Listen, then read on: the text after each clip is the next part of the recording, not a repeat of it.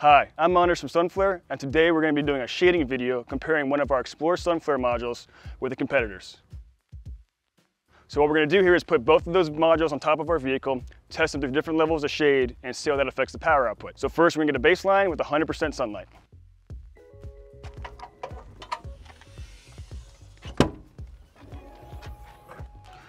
All right, so for the XPLOR Sunflare module, we're looking at about 138 watts. Now we're gonna drive into partial shady conditions.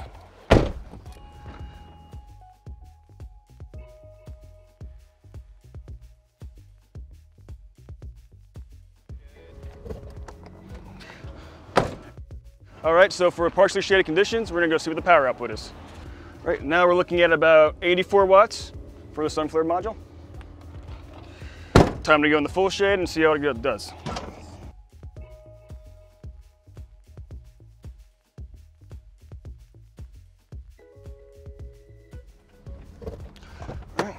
All right, in fully shaded conditions now, we have about 22 watts for the Sunflare Explorer module. So as you see here, you do get a power reduction as you get the more shady conditions, but thanks to the cell-by-cell -cell bypass diodes, our module will always be producing power for you. Part two of the shading is we're gonna repeat that same process, but using the silicon module. So let's get a baseline for 100% sunlight. All right, in full sunlight, we're at about 136 watts for the silicon module. Now let's go into partial shaded conditions and see how that affects it. All right, we are now in partially shaded conditions for the silicon module. All right, in these conditions, we're looking at about 48 watts currently.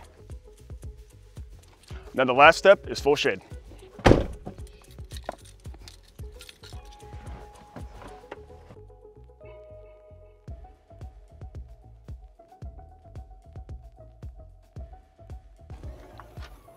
In fully shaded conditions, the competitor module is about 19 or 18 watts. All right, and this is what happens when you cover just one corner of the module.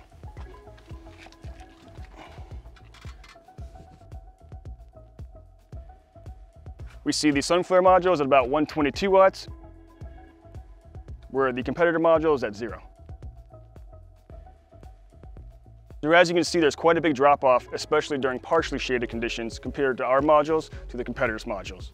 This is helped due to the bypass diodes of our module, which allows it to perform better during low light and shady conditions.